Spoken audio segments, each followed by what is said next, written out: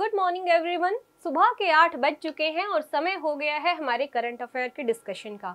आज की क्लास में हम डिस्कस करते हैं वीकली करंट अफेयर के बारे में। सो so, जितने इस हफ़्ते में इंपॉर्टेंट करंट इवेंट हुए हैं उनकी एक क्विक रिवीजन हम आज संडे के दिन करते हैं। सो so, याद रखिएगा पूरे वीक में हम हर दिन सुबह आठ बजे डेली बेसिस पे करंट अफेयर का डिस्कशन करते हैं और संडे का दिन हमने निर्धारित किया है एक क्विक रिविजन के रूप में और कुछ अगर न्यूज़ कोई छूट गई है तो उसके ऊपर भी हम डिस्कस करते हैं संडे के दिन में और इसीलिए हमने संडे का दिन रखा है वीकली करंट अफेयर्स का। सो याद रखिएगा, आज की क्लास में हम डिस्कस करेंगे करंट अफेयर्स के बारे में वीकली करंट अफेयर के बारे में। उससे पहले मैं हूँ रीना महला, दोस्तों। मेरी एजुकेशन क्वालिफिकेशन हुई है कुरुक्षेत्र यूनिवर्सिटी से। मैंने पोस्ट ग्रेजुएशन किया है कंप्यूटर एप्लीकेशन में एमए पब्लिक एडमिनिस्ट्रेशन में। उसके अलावा याद रखिएगा टीचिंग एक्सपीरियंस की बात करते हैं तो पाँच साल से ज़्यादा का टीचिंग एक्सपीरियंस है और दस हज़ार से ज़्यादा स्टूडेंट मुझसे गाइडेंस ले चुके हैं, जिसमें से 500 से ज़्यादा बच्चों की सिलेक्शन हो चुकी है, ठीक है? सो ये है मेरी एक quick brief introduction I hope आप सभी लोग मुझसे रूबरू हो चुके हैं, क्योंकि हर दिन हम सुबह आठ बजे मिलते हैं आपके अपने platform rise smart edu YouTube channel पे। सो शुरुआत करते हैं अपनी पहली ही न्यूज़ से। सो पहली न्यूज़ है हमारी इंटरनेशनल सोलर अलायंस की। इंटरनेशनल सोलर अलायंस में क्या हुआ है? सो याद रखिएगा इंटरनेशनल सोलर अलायंस 2015 के कोप 21 के बाद पेरिस सम्मेलन के बाद इसका निर्माण किया गया था, इसको बनाया गया था। बेसिकली भारत और फ्रांस के लीडिंग रोल के बाद इसको स्थापित किया गया। भारत के गुड़गांव, यानी हरियाणा के अंदर इसका हेडक्वार्टर है। अभी यहाँ पे करंट में क्या है? करंट में बेसिकली भारत और फ्रांस वापस से प्रेसिडेंट और को प्रेसिडेंट बेसिकली चुने गए हैं ठीक है? सो याद रखिएगा वापस से भारत और फ्रांस बेसिकली चुने गए हैं एज अ प्रेसिडेंट और को प्रेसिडेंट ठीक है? सो इसकी जानकारी general Ajay Mathews Mathews basically यहाँ पे जनरल थे सो उन, uh, उनके द्वारा ये जानकारी प्रोवाइड की गई है। सो so, इन्होंने कहा है कि भारत की तरफ़ से union power new and renewable energy minister R K Singh जो है प्रेसिडेंट रहेंगे इंटरनेशनल सोलर अलायंस में और साथ ही यहाँ पे फ्रांस जो है को प्रेसिडेंट के रूप में काम करने वाला है। ठीक है? अगली न्यूज़ है हमारी खेल की न्यूज़ है। सो याद रखिएगा बीसीसीआई के नए प्रेसिडेंट अपॉइंट किए गए हैं। इससे पहले सौरभ गांगुली यहाँ पे बीसीसीआई के प्रेसिडेंट थे। अभी सौरभ गांगुली की जगह पे नए प्रेसिडेंट बने हैं रोजर बिन्नी ठीक है? सो रोजर बिन्नी जो है 1983 का भारत का पहला वर्ल्ड कप जब भारत ने पहला वर्ल्ड कप जीता था, उस समय पे, उस दौरान यहाँ पे रोजर बिन्नी ने सबसे ज़्यादा विकेट ली थी। तो याद रखिएगा सबसे ज़्यादा विकेट लेने वाले थे। उसके अलावा ये जो है, अभी के समय पे बीसीसीआई के प्रेसिडेंट चुने गए हैं। याद रखिएगा अनअपोज इनका चुनाव हुआ है।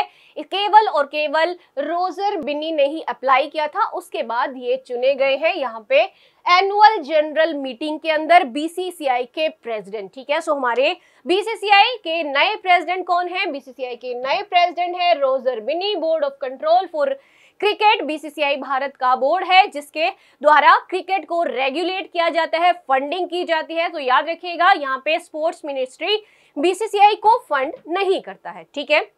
सो अगली न्यूज़ की ओर आगे बढ़ते हैं। अभी जो है बुकर प्राइज दिया गया है। बुकर प्राइज किसके लिए दिया जाता है? लिटरेरी अवार्ड है ठीक है? सो so, यहाँ पे अगर कोई व्यक्ति इंग्लैंड और आयरलैंड के अंदर अपनी कोई पब्लिकेशन करता है कोई बुक लिखता है कोई नॉवेल लिखता है यहाँ पे तो उस व्यक्ति वो जो व्यक्ति है वो एलिजिबल हो जाता है बुकर प्राइज के लिए ठीक है? सो so, यहाँ पे अभी श्रीलंकन ऑथर है नाम है सेहान करुण तालिका ठीक है? सो, सेहान करुण तालिका को अभी जो है 2022 में बुकर अवार्ड दिया गया है उनकी किताब the seven moons of Maali Almeida के लिए। The seven moons of Maali Almeida के लिए श्रीलंकन लेखिका सेहान कर्णतालिका, लेखक है बेसिकली लेखिका नहीं है, लेखक है। सेहान कर्णतालिका को ये अवार्ड दिया गया है, ठीक है? सो, ये इससे पहले इनकी पहली किताब चिन्नामन, ठीक है? सो बेसिकली चिन्नामन इनकी पहली किताब थे जिससे ये चर्चा में आए थे।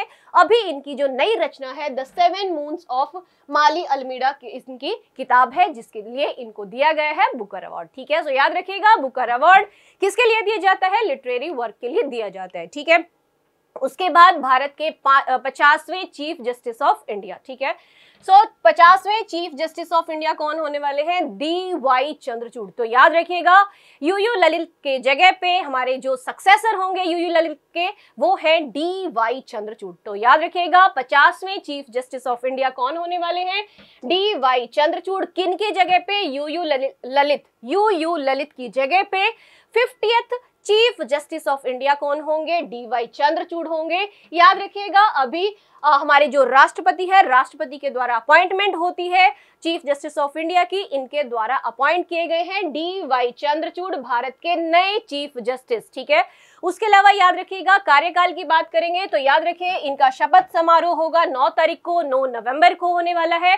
और कार्यकाल है 9 नवंबर 2022 से लेके 10 नवंबर 2024 तक इनका कार्यकाल रहने वाला है। सो याद रखिएगा, ये पिछले कुछ दशक से एक younger chief justice of India है। उसके अलावा सबसे ज़्यादा कार्यकाल वाले सबसे ज़्यादा इस पिछले दशक में सबसे ज़्यादा कार्यकाल वाले जो चीफ जस्टिस ऑफ़ इंडिया होंगे, वो होंगे डी वाई चंद्रचूड़। ठीक है? सो ये चीज़ हमें याद रखेगा और चीफ जस्टिस ऑफ़ इंडिया कौन होता है? Chief justice of India basically उन्हीं को अपॉइंट किया जाता है, जो होते हैं सीनियर मोस्ट जज ऑफ़ सुप्रीम कोर्ट ठीक है? सो सीनियर मोस्ट जज को बनाया जाता है चीफ जस्टिस ऑफ़ इंडिया, जो होंगे इस बार डी वाई चंद्रचूड़। याद रखिएगा, पचासवें चीफ जस्टिस है, ठीक है?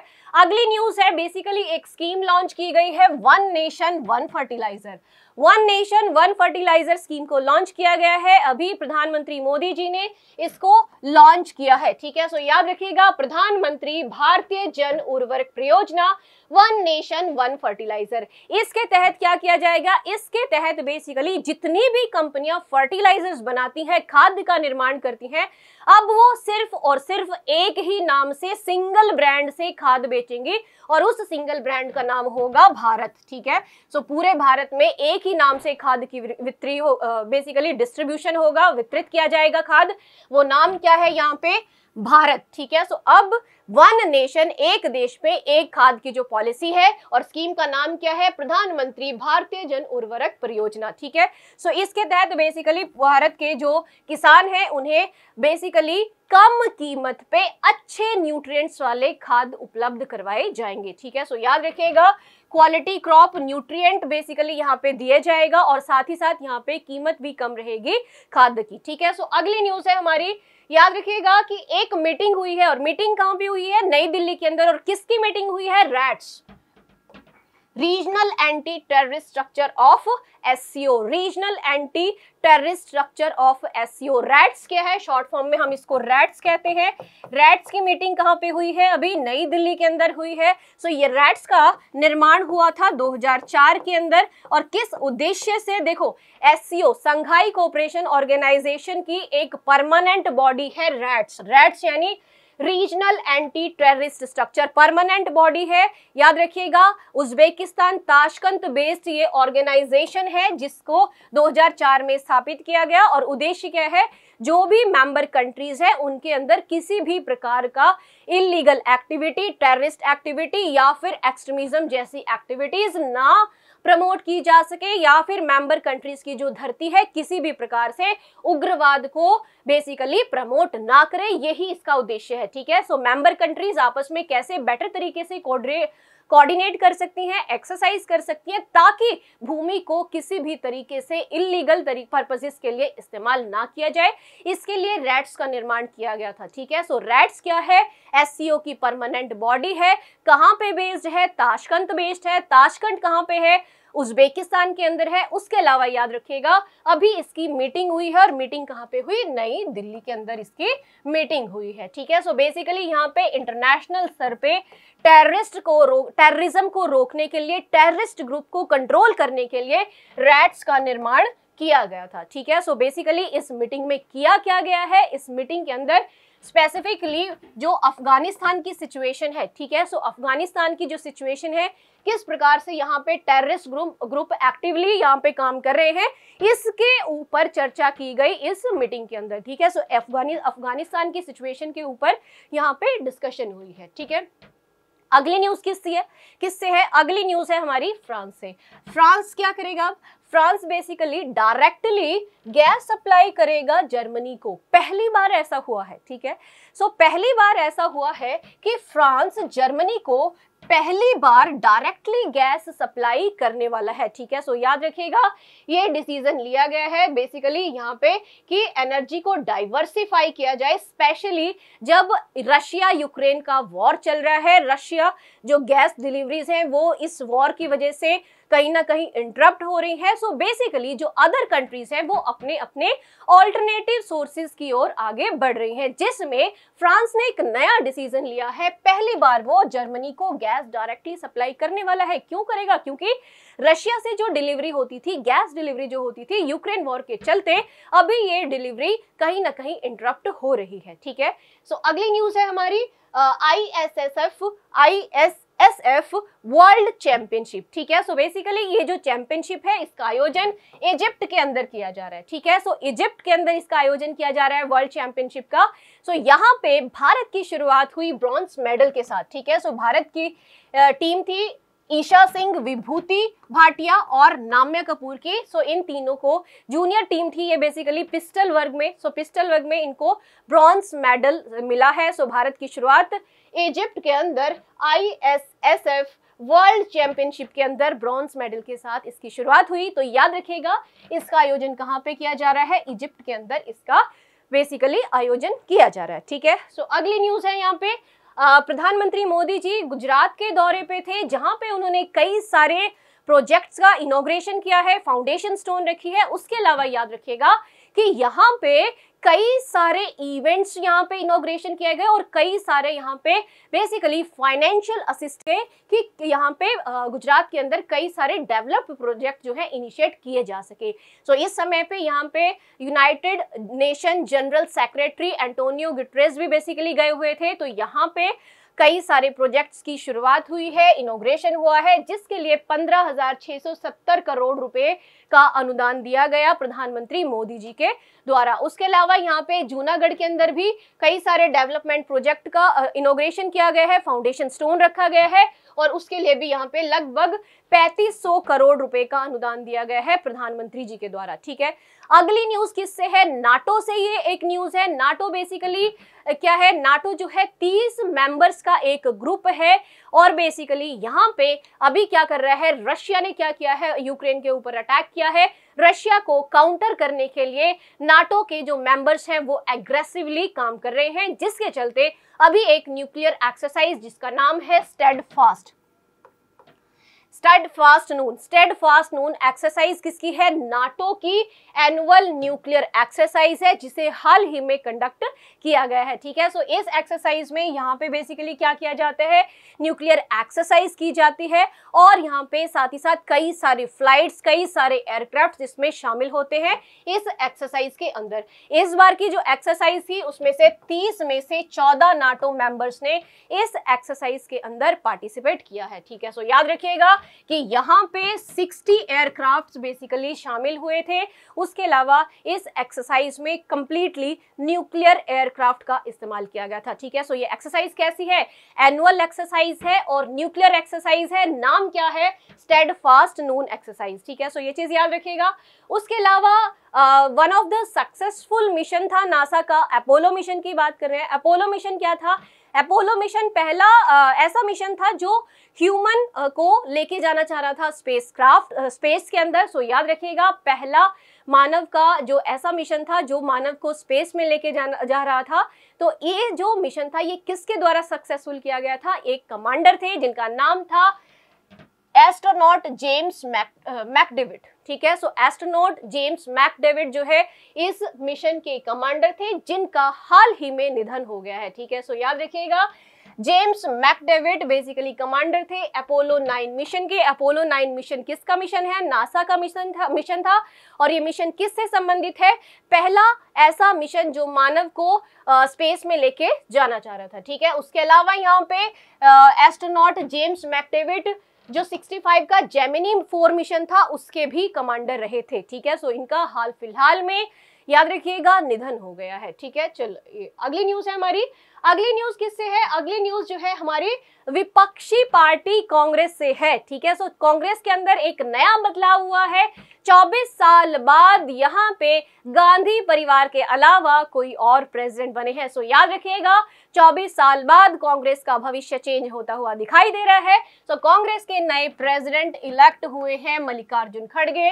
सो याद रखिएगा, मल्लिकार्जुन खड़गे अब जो है कांग्रेस के नए प्रेसिडेंट चुने गए हैं। 24 साल बाद गांधी परिवार के अलावा अगर कोई प्रेसिडेंट बना है तो वो है मल्लिकार्जुन खड़गे ठीक है?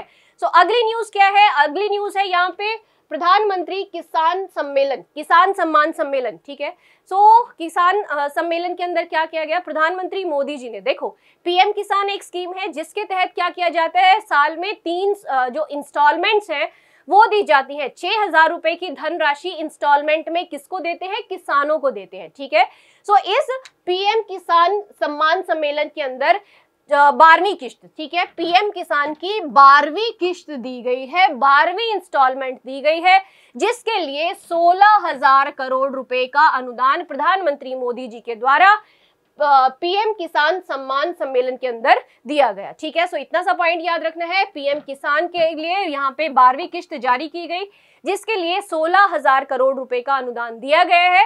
याद रखना, पीएम किसान स्कीम के तहत क्या किया जाता है? साल में तीन इंस्टॉलमेंट दी जाती है। टोटल छह हज़ार रुपए किसको दिए जाते हैं? स्मॉल और मार्जिनल फार्मर को प्रोवाइड किए जाते हैं। स्मॉल फार्मर किसको कहते हैं? स्मॉल फार्मर ऐसे फार्मर होते हैं जिनके पास दो हेक्टेयर से कम भूमि होती है। मार्जिनल फार्मर्स उनको कहते हैं जिनके पास एक हेक्टेयर से कम भूमि होती है, ठीक है? सो इतना सा पॉइंट समझना है कि स्मॉल और मार्जिनल फार्मर्स को पीएम किसान के तहत तीन इंस्टॉलमेंट के रूप में हर साल छह हज़ार रुपए का अनुदान दिया जाता है, जिसकी अभी बारहवीं किश्त सरकार के द्वारा जारी की गई है। जिसके लिए प्रधानमंत्री मोदी जी ने सोलह हज़ार करोड़ रुपए की धन राशि दी है, ठीक है? सो अगली न्यूज़ क्या हमारी? देखो अगली न्यूज़ से पहले इसको थोड़ा सा पढ़ लेते हैं। इसमें कुछ कुछ इंपॉर्टेंट स्टेप लिए गए हैं। इंपॉर्टेंट स्टेप क्या है कि यहाँ पे एग्रीकल्चर के अंदर स्टार्टअप्स को प्रमोट किया गया है। तो इसके लिए क्या कहा कि एक एग्री स्टार्टअप्स भी बेसिकली uh, भारत के अंदर बनाए जाएँगे। क्या करेंगे क्या? एग्री स्टार्टअप्स कृषि के अंदर एक स्टार्टअप कल्चर को प्रमोट कर रहे हैं। ठीक है? उसके अलावा यहाँ पे 600 प्रधानमंत्री किसान समृद्धि केंद्र भी बनाए जा रहे हैं। इन केंद्र से बेसिकली किसान क्या कर सकते हैं? खाद ले सकते हैं ठीक है? So ministry of chemical and fertiliser के तहत 600 प्रधानमंत्री किसान समृद्धि केंद्र का निर्माण भी यहाँ पे किया गया है ठीक है? सो so, अगली न्यूज़ है यहाँ पे। प्रधानमंत्री मोदी जी ने distribute of PMJ MA Ayushman card in Gujarat ठीक है? सो so, बेसिकली क्या किया गया है? यहाँ पे मुख्यमंत्री अमृत्यम आयुष्मान कार्ड, ठीक है? नाम याद रखिएगा, मुख्यमंत्री अमृतम आयुष्मान कार्ड, ठीक है? सो ये क्या है? ये कार्ड्स बांटे गए हैं कहाँ पे? गुजरात के अंदर। किस स्कीम के तहत? प्रधानमंत्री जन आरोग्य योजना के तहत गुजरात के अंदर लोगों को उनके घरों में जाके, उनके डोर डोर स्टेप पे मुख्यमंत्री अमृतम आयुष्मान कार्ड वितरित किए गए हैं, ठीक है? सो याद रखिएगा, पचास लाख कलर प्रिंटेड, ठीक है? So 50 lakh colour printed Ayushman card Gujarat के अंदर बांटे गए हैं, ठीक है? सो अगली न्यूज़ है हमारी। अभी क्या हुआ है? चेस के अंदर इंडियन ग्रैंड मास्टर अर्जुन ने हरा दिया है नॉर्वेजियन मैग्नस कार्लसेन को, ठीक है? सो आज के समय पे कार्लसेन जो है एक बेसिकली योद्धा कह लीजिए चेस के। सो याद रखिएगा, चेस के ग्रैंड मास्टर को हरा दिया है भारतीय ग्रैंड मास्टर अर्जुन ने, ठीक है? सो इससे पहले अर्जुन हार गए थे। Julius Baer generation cup final के अंदर बेसिकली अर्जुन हार गए थे बट ये अर्जुन की पहली जीत है। अभी हाल फ़िलहाल में नॉर्वेजियन कार्लसेन को हरा दिया गया है। किसके द्वारा? Indian grand master Arjun Erigaisi के द्वारा ठीक है? अर्जुन एरगेसी के द्वारा यहाँ पे मैग्नस कार्लसेन को बेसिकली वर्ल्ड चेस चैंपियनशिप के अंदर हरा दिया गया है ठीक है? सो so, अगली न्यूज़ के ऊपर आगे बढ़ते हैं। प्रधानमंत्री जी ने क्या किया है? प्रधानमंत्री जी ने 75 digital banking units basically inaugurate किया है कि भारत में 75 जिलों के अंदर 75 डिजिटल बैंकिंग यूनिट्स का निर्माण किया जाएगा ठीक है? सो so, 75 डिजिटल यूनिट का निर्माण किया जाएगा ठीक है? सो so, याद रखिएगा 75 digital banking unit digital banking unit का निर्माण किया जाएगा। कितने ज़िले के अंदर? 75 डिस्ट्रिक्ट्स के अंदर। उसके अलावा याद रखिएगा, इसका एम क्या है? एम होगा यहाँ पे फाइनेंशियल इंक्लूजन ठीक है? सो यहाँ पे इसका उद्देश्य है डिजिटल डिजिटल फाइनेंशियल इंक्लूजन, ठीक है? सो यहाँ पे भारत के अंदर 75 जिलों के अंदर 75 डिस्ट्रिक्ट में 75 डिजिटल बैंकिंग यूनिट्स का निर्माण किया जाएगा। तो याद रखिएगा, इस बार के बजट में भी हमारी फाइनेंस मिनिस्टर निर्मला सीतारमन जी ने बेसिकली बजट के दौरान कहा था कि भारत के अंदर क्या बनाएँगे? डिजिटल बैंकिंग यूनिट का निर्माण किया जाएगा। उद्देश्य क्या है? भारत के अंदर डिजिटल फाइनेंशियल इंक्लूजन को लेके आना, लोगों को डिजिटली लिटरेट बनाना यहाँ पे मुख्य उद्देश्य है। डीबीयू का। डीबीयू क्या है? डिजिटल बैंकिंग यूनिट कितनी बनाई जाएँगी? 75 कितने डिस्ट्रिक्ट्स में? 75 में। ठीक है? सो अभी क्या हुआ है? प्रधान हमारे जो होम मिनिस्टर है अमित शाह जी उन्होंने भारत के अंदर पहला हिंदी वर्जन ठीक है? सो so, अब भारत के अंदर जो मेडिकल की शिक्षा है वो हिंदी में भी हो पाएगी ठीक है? सो so, हिंदी में भी हो पाएगी। इसके लिए पहली Hindi version of MBBS books basically launch की गई है हमारे होम मिनिस्टर अमित शाह के द्वारा। कहाँ पे? भोपाल में। सो so, भारत का ऐसा पहला राज्य कौन सा है? मध्य प्रदेश भारत का ऐसा पहला राज्य है जहाँ पे हिंदी में मेडिकल शिक्षा प्रोवाइड की जाएगी। चिकित्सा शिक्षा हिंदी में होगी। मध्य प्रदेश में जिसके लिए हमारे जो होम मिनिस्टर हैं उन्होंने पहला हिंदी वर्जन एमबीबीएस बुक्स का लॉन्च किया है भोपाल में ठीक है? सो so, अगली जो न्यूज़ है वो है basically union finance minister Nirmala Sitharaman ji world bank के जो प्रेसिडेंट है डेविड मेलपेस इनसे इनकी एक मीटिंग हुई है। मीटिंग किससे रिलेटेड है? भारत के अंदर अगर हम बात करें वर्ल्ड बैंक में जो सबसे बड़ा इशू रहता है डब्ल्यूडीओ में वर्ल्ड बैंक में भारत जो है अपने गरीब लोगों को क्या करता है? सब्सिडी देता है ठीक है? सो so, भारत जो सब्सिडी दे रहा है अपने वल्नरेबल हाउस होल्ड को और जो टारगेटेड सपोर्ट है ठीक है? सो बेसिकली यहाँ पे जो हमारी सब्सिडी दी जाती है इस सब्सिडी के ऊपर वर्ल्ड बैंक और world trade organisation several times question mark यहाँ पे अराइज करते हैं ठीक है? सो so, इस मुद्दे को लेके श्रीमती निर्मला सीतारमन जी ने डिस्कशन की है डेविड मेलपस से ठीक है? सो so, याद रखिएगा डेविड मेलपस से वॉशिंगटन में अभी हमारी फाइनेंस मिनिस्टर ने मुलाकात की किससे रिलेटेड सब्सिडी के इशू के? से रिलेटेड ठीक है? सो so, अगला क्वेश्चन है अगला क्वेश्चन क्या है कि हमारा राजस्थान का रणथम्बोर टाइगर रिज़र्व से एक टाइगर शिफ्ट किया गया कहाँ पे? सरिस्का टाइगर रिज़र्व के अंदर। सरिस्का टाइगर रिज़र्व जो है one of the successful place है जहाँ पे सक्सेसफुली टाइगर्स को रीलोकेट किया गया है। इससे पहले भी सरिस्का में टाइगर्स को रीलोकेट किया गया है। अभी क्या हुआ है? अभी टी 113 टाइगर का नाम क्या है?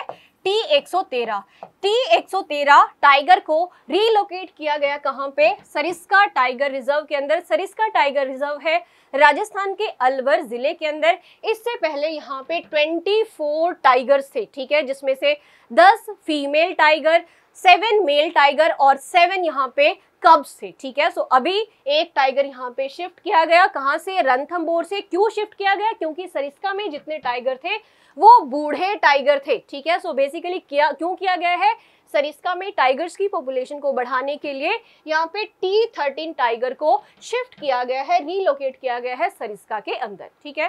सो so, अगली न्यूज़ किससे है? अगली न्यूज़ है हमारी एग्रीकल्चर से ही रिलेटेड 2023-24 के लिए छह फ़सलों का एमएसपी बढ़ाया गया है। सो यूनियन कैबिनेट ने अप्रूवल दे दिया है 2023-24 के लिए कि छह रबी क्रॉप्स को का जो एमएसपी है, ठीक है, छह रबी क्रॉप्स का एमएसपी बढ़ाया जाएगा। और उसमें सबसे ज़्यादा मसूर की दाल यानी लेंटिल्स के दाम बढ़ाए गए हैं, पाँच सौ बढ़ाए गए हैं। याद रखिएगा C commission for agriculture cost and prices ने जितनी रिकमेंडेशन दी थी वो सारी रिकमेंडेशन यहाँ पे कैबिनेट के द्वारा एक्सेप्ट कर ली गई है। जब भी एमएसपी मिनिमम सपोर्ट प्राइस की बात होती है वो किसके द्वारा रिकमेंड किया जाएगा? कितनी चेंज होगा? कितना वृद्धि करना है? सीएसीपी रिकमेंडेशन देता है कैबिनेट उसको अप्रूवल देता है एंड देन फर्दर वो इम्प्लीमेंट हो जाता है। ठीक है? सो so, यहाँ पे नाइन परसेंट वृद्धि की बात कही गई थी। किसके अंदर? छह फ़सलों के अंदर, ठीक है? सो याद रखिएगा, तेईस चौबीस के लिए 2023-24 के सीज़न के लिए रबी की छह फ़सलों के एमएसपी को बढ़ाया गया है। सबसे ज़्यादा यहाँ पे किसको बढ़ाया किसके दाम बढ़ाए गए हैं? लेंटिल्स के दाम बढ़ाए गए हैं, ठीक है? अगली न्यूज़ किससे है? अगली न्यूज़ है एक इंटीग्रेटेड पेंशनर पोर्टल, ठीक है? सो सिंगल विंडो है, जहाँ पे पेंशनर्स की समस्याओं का निदान किया जाएगा, ठीक है? सो इस पोर्टल को कहाँ पे लॉन्च किया गया? अनुभव अवार्ड सेरेमनी के अंदर, ठीक है? अनुभव अवार्ड सेरेमनी किससे संबंधित है? अनुभव एक पोर्टल है। अनुभव पोर्टल बेसिकली 2015 के अंदर लॉन्च किया गया था। अनुभव पोर्टल कैसा है? अनुभव एक ऐसा पोर्टल है, जहाँ पे जो हमारे रिटायर्ड ऑफिसर्स हैं, जो रिटायर्ड एम्प्लॉयज़ हैं, वो अपने अपने एक्सपीरियंसेस को इस अनुभव पोर्टल के ऊपर लिख सकते हैं ठीक है?